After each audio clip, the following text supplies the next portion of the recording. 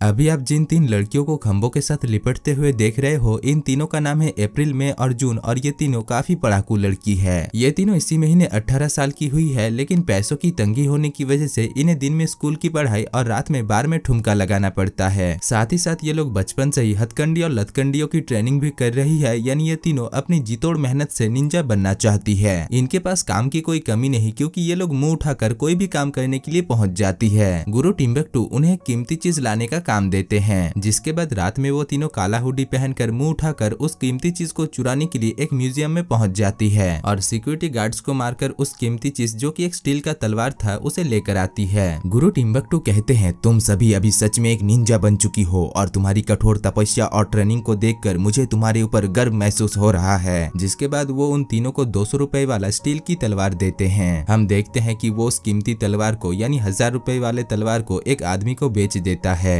जिसके बाद उन सभी को निंजा बनने के लिए सर्टिफिकेट दे दिया जाता है। आगे हम उन तीनों लड़कियों को कच्ची पहनकर फोटोशूट करवाते हुए देखते हैं और हमें पता चलता है कि इनके लिए कोई भी काम छोटा या फिर बड़ा नहीं है। और ये लोग सभी काम को पूरी ईमानदारी और निष्ठा से करती है। जिस वजह से स्कूल के सभी लड़के यहाँ तक कि घोड़ा गाड़ी प्रिंसिपल भी उनके प्यार में दीवाना है। क्लास के खत्म होने के बाद अप्रैल जब जा रही थी, तभी एक लड़का कहता है, सुनो, मुझे पढ़ाई में थोड़ा हेल्प कर दोगे प्लीज़ नहीं, मुझे थोड़ा काम है, पर क्यों? क्लास में तुम्हारी नंबर सबसे ज़्यादा आती है। तुम काफ़ी पढ़ाकू लड़की हो और आज रात अगर तुम मेरे घर में आती हो तो मुझे थ्योरी के साथ साथ थोड़ा प्रैक्टिकल भी समझा देना, जो कहकर वो उसकी टांगों को देखने लगता है। हमें पता चलता है कि वो उसे उसके घर पर बुलाकर उसके साथ बायोलॉजी प्रैक्टिकल करना चाहता है। अप्रैल भी काफ़ी बेशरम थी, इसलिए वो भी उसे काफ़ी गंदे गंदे इशारे करती है, जिससे उस लड़के का घोड़ा दौड़ने लगता है। दूसरी तरफ़ हम घोड़ा गाड़ी प्रिंसिपल को देखते हैं, जो कि इन सब का मज़ा लूट रहा था। आगे वो तीनों डांसिंग क्लास पहुँचते हैं, जहाँ के ट्रेनर लाल उन्हें चेयर लीडर डांसिंग सिखाता है। One two three four five six seven eight eight seven six five four three two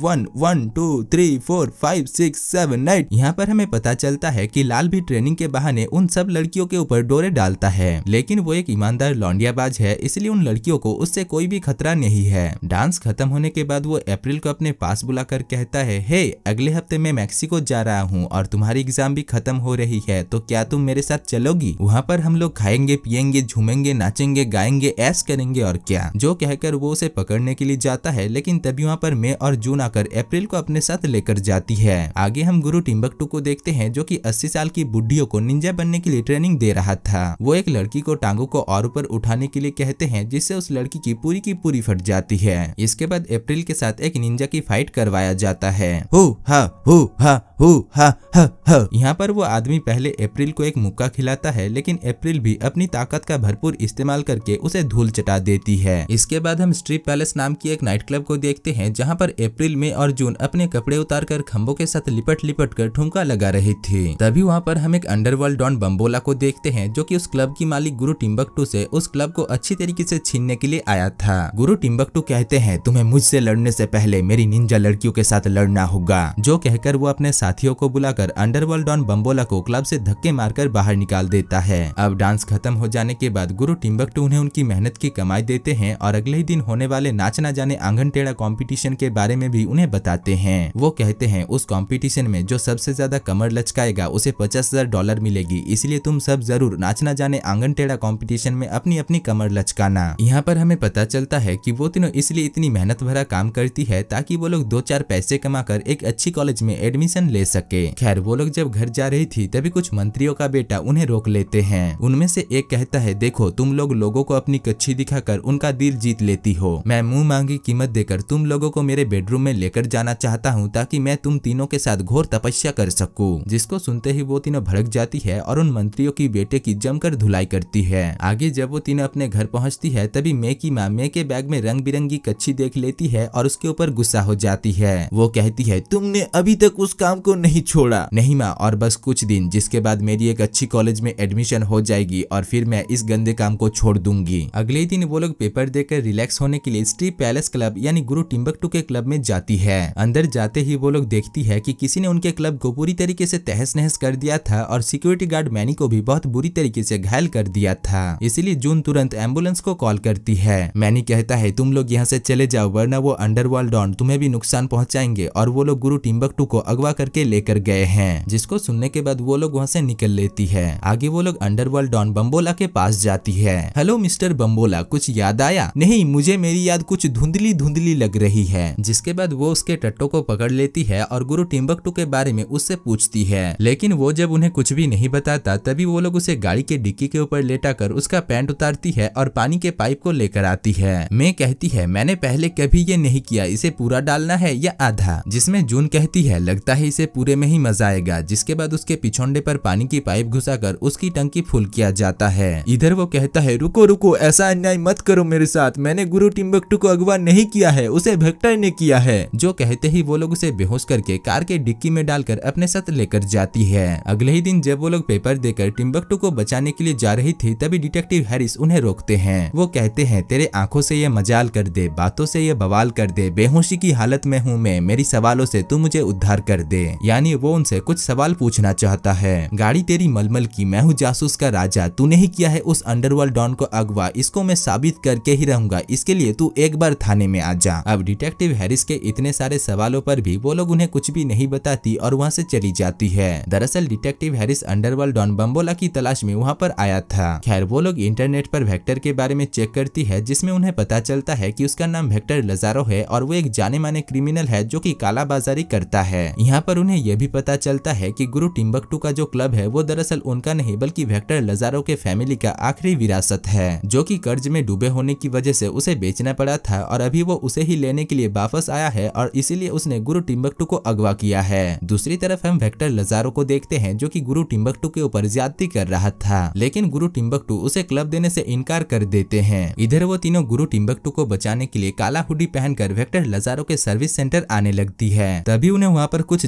जायदाद के कागज़ मिलती है, जो कि दरअसल उस क्लब का ही था। उधर वेक्टर जब शहर के बाकी सारे गुंडे मवालियों के साथ बैठकर मीटिंग कर रहा था, तभी वहाँ पर अप्रैल में और जून आ जाती है और सभी लोगों के ऊपर हथकंडी और लतकंडियों को चलाकर सभी को ढेर कर देती है। जिसके बाद अप्रैल वेक्टर के गले में दो सौ वाला तलवार रखकर उससे पूछती है, बता, हमारे गुरु टिम्बकटू कहाँ पर है? वरना मैं तेरी गर्दन काट दूँगी। वेक्टर लजारो कहता है, अगर तुमने मुझे मार दिया तो तुम्हारे गुरुजी का भी काम तमाम हो जाएगा। तो इससे अच्छा है कि तुम मुझे क्लब के पेपर दे दो, जिसके बदले में मैं तुम्हारे गुरुजी टिम्बकटू को छोड़ दूँगा। अब मजबूर होने की वजह से वो तीनों वेक्टर को वहीं पर ही छोड़कर वहाँ से चली जाती है। उनके जाते ही वेक्टर के पास एक औरत आती है जो कि दरअसल एक गीगा निंजा है और यहाँ पर वेक्टर उसे उन तीनों लड़कियों को जान से मारने का कॉन्ट्रैक्ट देता है। इसके बाद अगले ही दिन अप्रैल में और जून नाच ना जाने आँगन टेढ़ा कॉम्पिटिशन में हिस्सा लेती है और पूरे स्टेज को हिला देती है, जिससे वो लोग कॉम्पिटिशन को जीत जाती है। लेकिन जब वो लोग कपड़े बदलने के लिए जाती है, तभी वहाँ पर वेक्टर के गुंडे आकर उन्हें मारने की कोशिश करते हैं। पर वो तीनों मिलकर उनकी जमकर कुटाई करती है और उनमें से एक गुंडे को पकड़कर उससे पूछती है, बता, वेक्टर ने गुरु टिम्बकटू को कहाँ पर रखा है? वरना हम लोग तेरे टट्टों को काट कर कुत्तों को खिला देंगे। जिससे उस गुंडे को उन्हें सब कुछ सच सच बताना पड़ता है। दूसरी तरफ़ हम गुरु टिम्बकटू को देखते हैं, जिससे वेक्टर पूछता है, क्या तुम्हें सच में उस क्लब की अहमियत पता है? हाँ उसमें अच्छे पैसे मिलते हैं। नहीं, ये विरासत है। मेरे पिता ने उस क्लब को खोला था। फिर मैंने उसे चलाया। फिर किस्मत ने मेरा साथ नहीं दिया। पर मैं अभी लौट आया हूँ और मैं मेरा हक लेकर ही रहूँगा, जो कहकर वो गुरु टिम्बकटू के मुँह पर एक ज़ोर का चाटा मारता है। दूसरी तरफ़ हम अप्रैल में और जून को देखते हैं, जो कि किसी तरीके से छुपते छुपाते वहाँ पर पहुँच चुकी थी और वो लोग वेक्टर लजारो के भाड़े के टट्टो को मारने लगती है। दूसरी तरफ़ वेक्टर ने गुरु टिम्बकटू के मुँह पर थप्पड़ जड़ जड़ कर उसका मुँह लाल कर दिया था और यहाँ पर वो उसे मारने के लिए जाता है। लेकिन तब तक गुरु टिम्बकटू अपनी निंजा तकनीक से वहाँ से फ्री हो जाता है और उल्टा वेक्टर को ही जान से मार डालता है। तभी वहाँ पर अप्रैल में और जून भी पहुँच जाती है और साथ ही